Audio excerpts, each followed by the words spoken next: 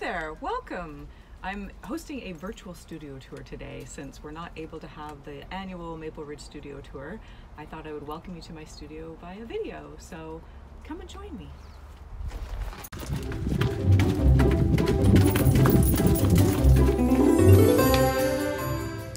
Welcome to my backyard studio. Uh, it's not a big space, but it's a really fabulous space. It was actually a shed uh, that my husband Ren turned into this beautiful space. So uh, prior to this, on our other homes, I was always working on the kitchen table or in a spare room. Um, and here I've got a space that's separate from the house. My commute to work is about 10 steps from our house, so I really love it in here. And come on in and let me show you around. Welcome inside. This is uh, my work desk where the action happens. Sometimes, if I'm doing a smaller piece, I'll work on my desk, which was actually a really beautiful piece of wood, um, and now it's covered in paint. So uh, that's okay, it's a workspace. And if we look out my window here, um, I've got some nice trees and that out the window, nice plants. So I'm really grateful for the view that I have.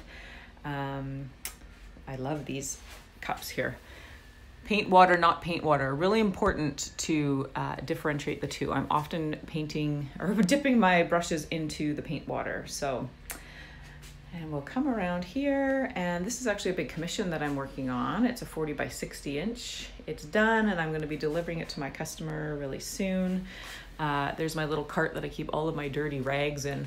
Actually, my rags end up being kind of like these little pieces of art. So I could actually make something out of these eventually, I think, which would be kind of neat. Uh, if we have a peek, I'll let you guys peek in behind there. This is where I keep all of my canvases. So I paint mostly on wood canvas, um, so wood panel. It's made of birch wood, and that's what I'm doing most of my work on right now. I think it works really well with the work that I'm making that has to do with trees and nature. And this is kind of the wall of sort of pieces that I've already finished. I don't have a lot of room in here for storing paintings, and so a lot of them end up going in my house as well, but let me give you a closer look at some of these. So the pieces I have here on display in my studio are part of my Wisdom Whispers collection, which is my new series. Um, a lot of my work sort of is a continuation on of past work that I've done, and what I've been most well known for are tree roots and exposed tree roots the idea of how those are our stories and where we've come from, and we want to expose them and share them. And so, in my newest work in Wisdom Whispers, um, the backgrounds are abstract, and then I find the forest within the abstract. And within then, I then overlay it with white linework trees, and the linework trees I'm leaving transparent. And the idea behind that is that the backgrounds are shining through, so the stories are shining through, where we've come from is shining through, and we should be really proud of that and so that's kind of an evolution of that original concept of mine of the tree roots. You'll notice there's still some tree roots in these pieces as well. Um, I'll do a little pan around to show you them a little bit closer, um, and you can see all of them in their details on my website as well, so I hope you enjoy them.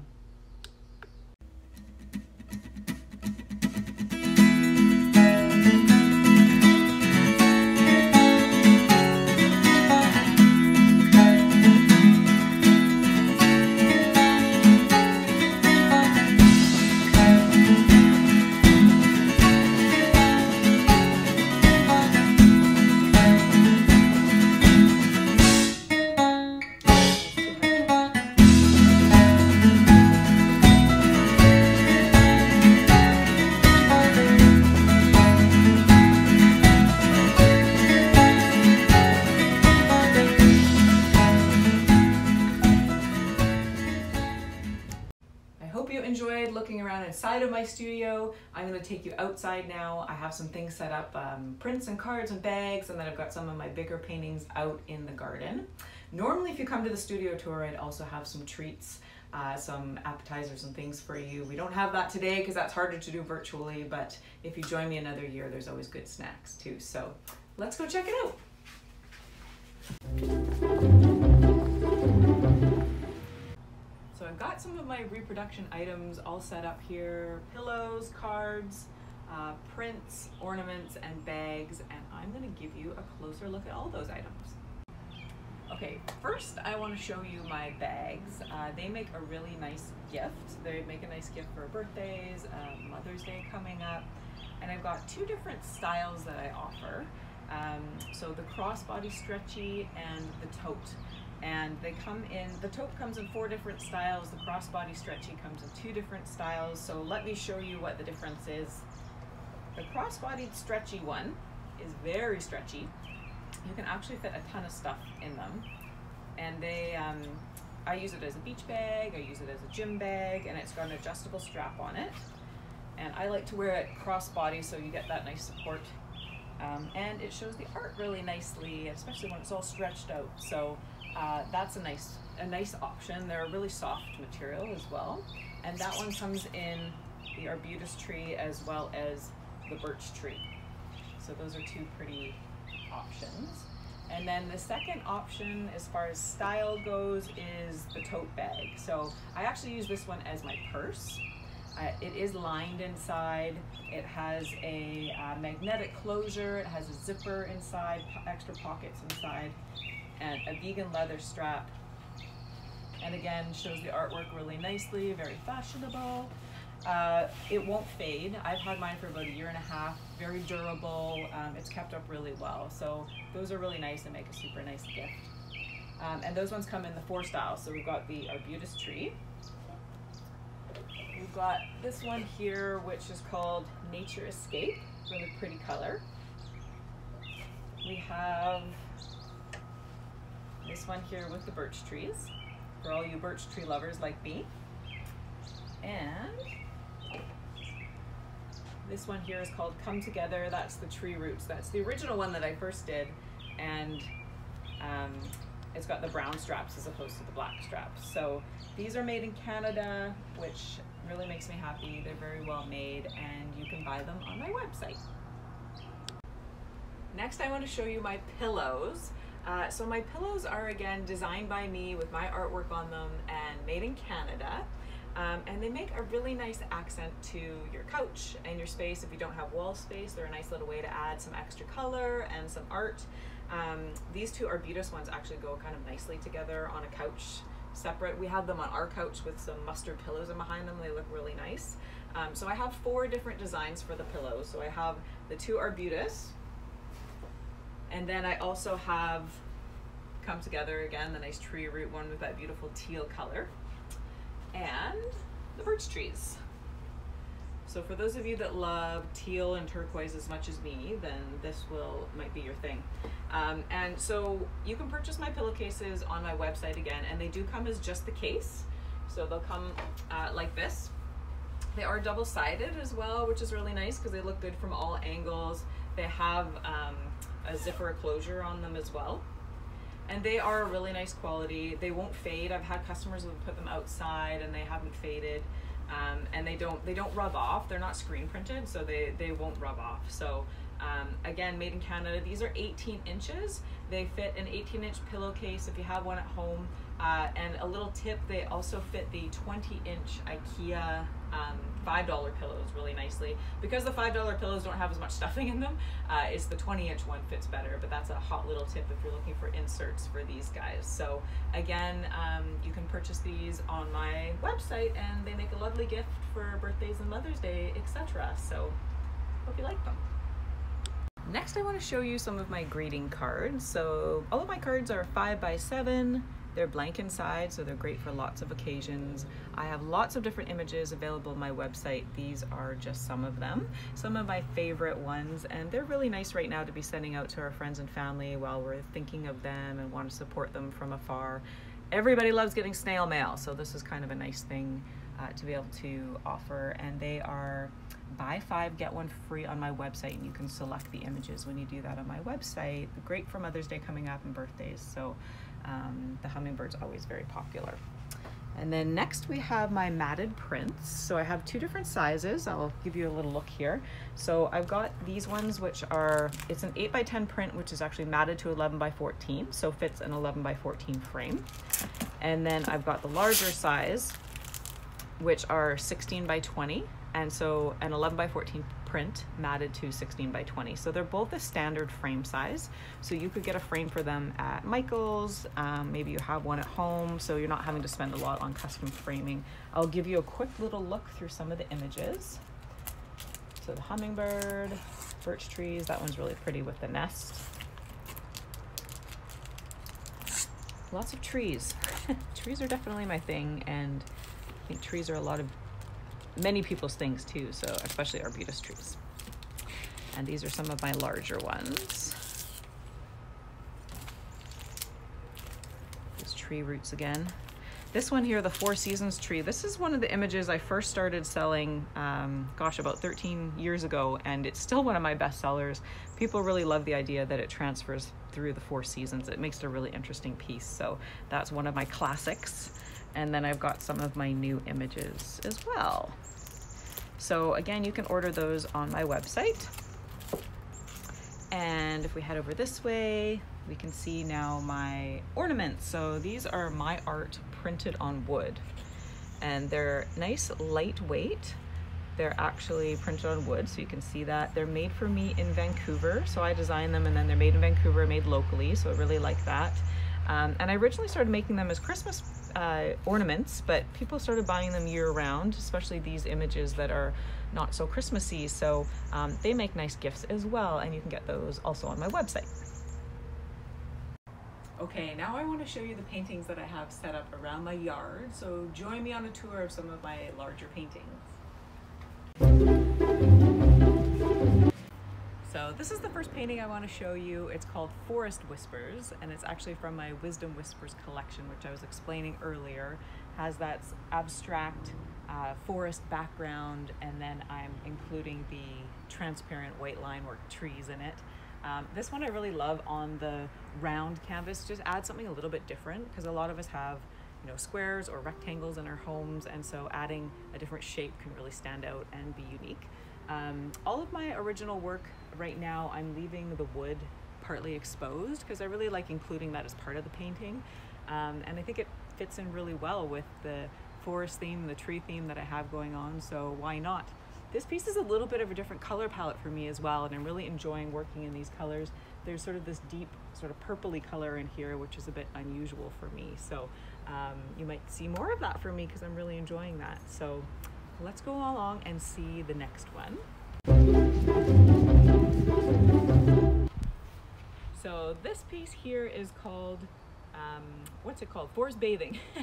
um, forest bathing is something that I love to do. Forest bathing means spending time out in the forest, not necessarily just walking through, but really taking your time and taking it all in and observing what's really going on.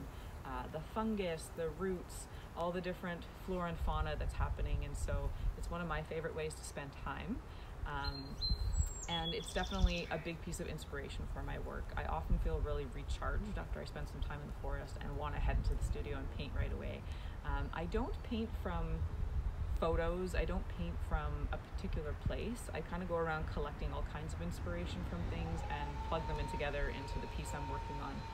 Um, so this piece here is quite a large one. It's 40 inches, uh, 40 by 40. It's my personal favorite from the, my new collection. There's just something about it that makes me feel like I could walk right inside of the piece and be sort of hanging out back there in the forest. Um, a little bit of a different color palette for me again as well, so really enjoying using some new colors. And again, some of that wood exposed, some of the wood grain is actually coming through as well, so it's really pretty that way let's go on and check out the next painting. Is painting I want to show you. It's called Better Together. And I actually had a contest on my uh, social media to name this painting. And that was the painting that um, we decided on. So this is a collaboration piece that I've done with my husband, Ren. He's actually added the metal fish. So all the fish in here is actually made of hammered copper. And the reason that we chose the Better Together name is for a couple of reasons. One is we made it together, so when we make things together, they're often better. Um, the other is the symbolism of, you know, the forest working together, the school of fish working together. Um, those things work better together, as well as us as communities and people. If we come together, it's a better thing as well. So we thought it was a really fitting name.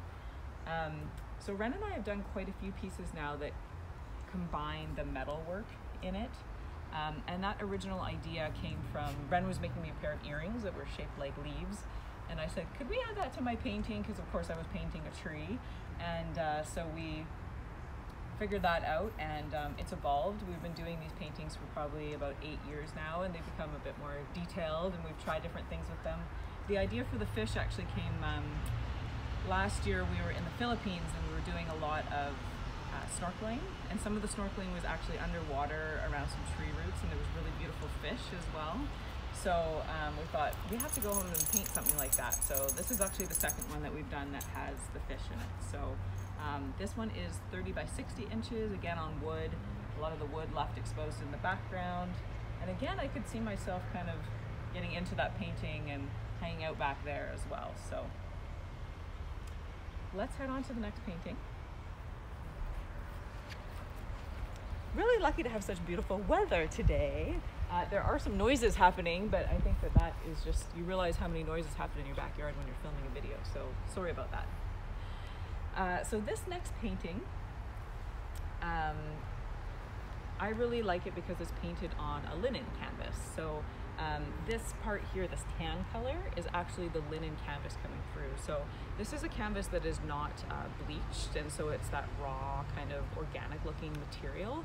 Um, and so I think it looks really pretty. And so it was too pretty for me to cover up, so I wanted to use it as part of the actual painting. Um, and this this painting is actually called Wisdom Whispers, which is the title piece for my uh, collection. Every winter, I actually put together a new collection of work because um, in the winter is when I have most amount of time to paint. And so this was the first piece that I did in that collection, and and uh, that's why it has the title name as well.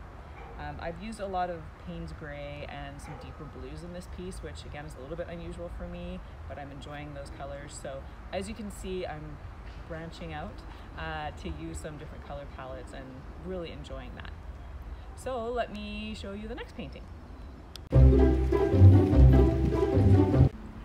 Okay, this is the next painting that I want to show you.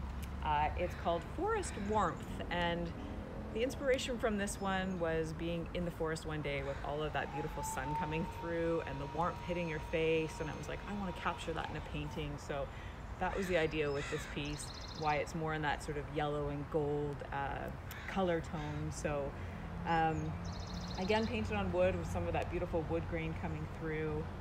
And a lot of my work, all of my original work actually has metallic paint in it. So I use metallic paint because I really like the idea that it shines, looks different in different light, depends on what angle that you're at. Um, and so all within here is actually some gold paint. You'll get some different shine depending on the light. So I really like the idea that it can change depending on the time of day. So, and that's actually what makes an original painting more unique than say a print because you can't get that different shine of the metallic paint in a print. So that's what makes the original extra special. Okay, I've got one more painting to show you, so let's head on over.